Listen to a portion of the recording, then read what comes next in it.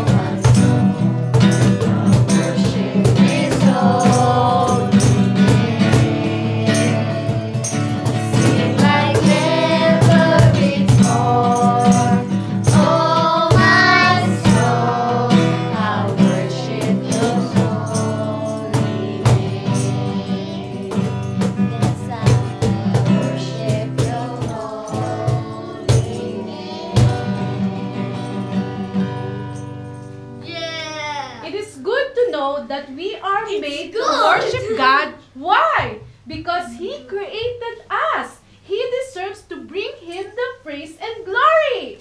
Do you know that the oldest instrument in the world is a flute, made out of bone, thousands of years old?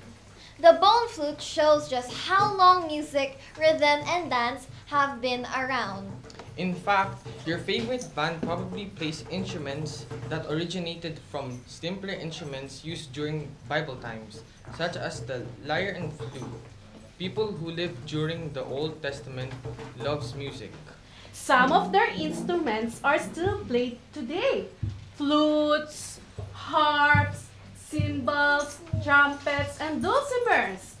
They made up of songs on the spot when something marvelous happened or sang sadly when someone died.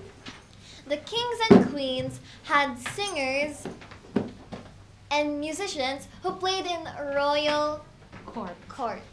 The Psalms were often songs, and King David composed of many of them. Music is a wonderful gift. Church service always includes singing, right, kids? Even the angels in heaven, Sian, create music for God, no, Ate Charlotte and Zeki. It can improve your mood. No, you're happy now, right? Because We're we're, worshiping Jesus. Amen. Even David played music for King Saul to calm him down. and help you learn. So keep the tunes in your life. God is our song. He makes our hearts happy. Yay! The Bible says in Psalms 47, 1 and 6, Clap your hands, all you nations.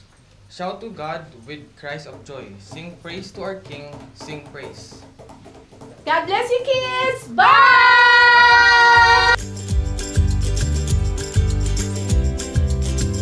Hi, everybody. It's the Sunshine here, and I am here with my friend, Maya. Maya, hi!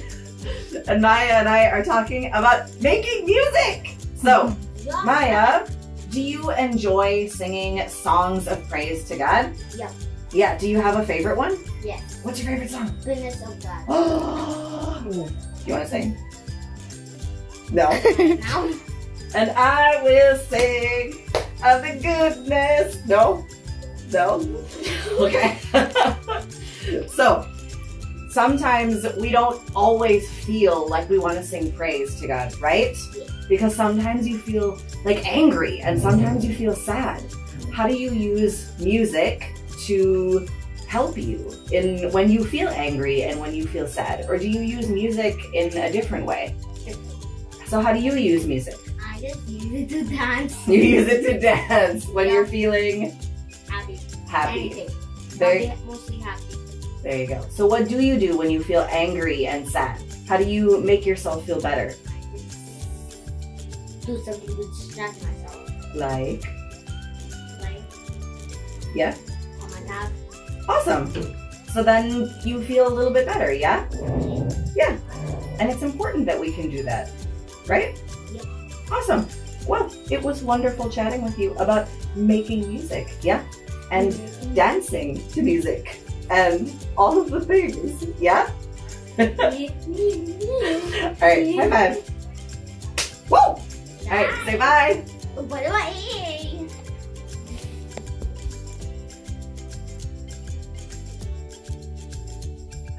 It's time to wrap up this lesson. Ready? Let's go.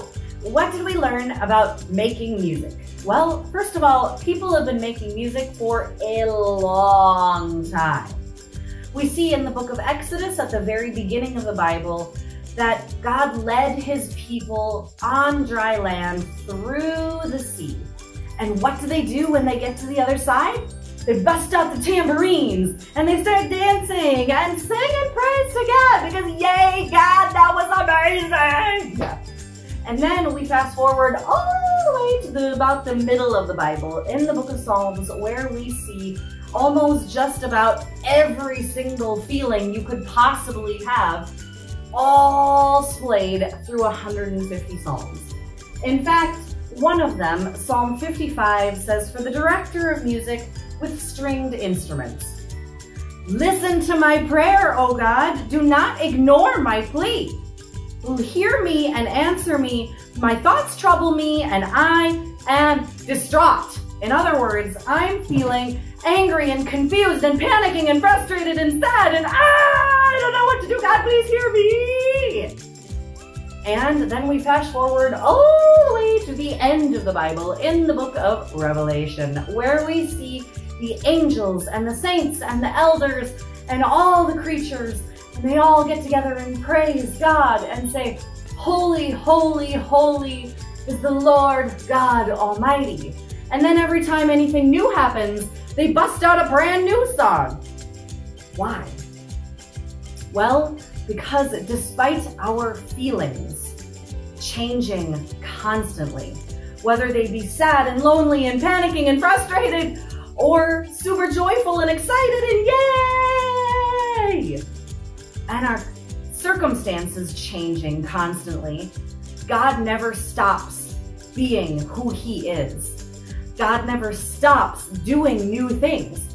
He never stops being in control and amazing. He never stops being strong and mighty and big. He never stops being good and generous and kind. He never stops being present and with you. He is always good. He is always God. He is always, well, worthy of our praise. And if you know Jesus as your best friend, you know that he's unlike anyone else. So, you don't need to be in church to sing songs and praises to God. You can be in your home. You can be at the grocery store. You can be out in the park. You can be anywhere and just start singing and praising God. So, what's to stop you? Get out your instruments, get out your voice, get out your body, and sing a song that already is, or make one up of your own about whatever's going on. And who knows? What are you waiting for? As we wrap this up, two questions. Number one, what is your favorite praise song to sing to God? And do you enjoy singing? And question number two, do you use music in different feelings? Do you have a specific, or do you have favorite songs that you sing when you're feeling different feelings? As we wrap this up, let's pray. Lord, I see and I know that music is important to you. I want all of my songs to bring glory to you and bring joy. I pray all of this in Jesus' name. Amen. Well, it's time to let your light shine. Bye.